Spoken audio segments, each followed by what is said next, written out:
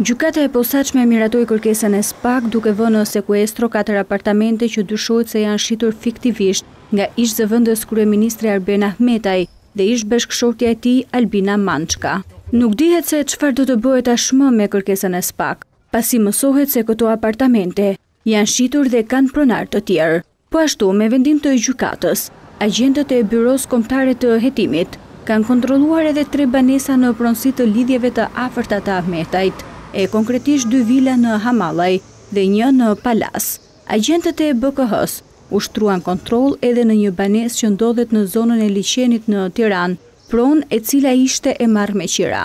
Arben Ahmetaj akuzohet nga SPAK për tre vepra penale, Korrupsion në gjashtë raste, pastrim parash dhe fshehje pasurie. Pas kontrolleve reagoi edhe vetë ish-ministri Arben Ahmetaj, në një status në Facebook. Ai thotë se shifra prej një pikë tetë milionë euro, që ka dalë si pjesë e hetimeve, s'është gjë tjetër, veçse një lajm i rremë. Sot u bë raprezalja e radhës në familjen time nga mosha tetëdhjetë e dy vjeç e poshtë. Madje pleqve u janë marrë edhe celularët, në kërkim të provave për inceneratorët. Ndërsa spin doktor kontakt inceneratorësh ka qarkulluar lajmin e rremë se qenkan transferuar një pikë tetë milionë euro. Në vend të merren me fondet e inceneratorëve, merren me një pikë tetë milionë euro imagjinarë. Fake news i prodhuar në laboratorët e ortakërisë mediatike dhe jo vetëm të inceneratorëve. Vendimi i gjykatës vjen pas kërkesës së Prokurorisë së Posaçme, që e heton ish-zyrtarin e lartë si të përfshirë në çështjen e inceneratorëve.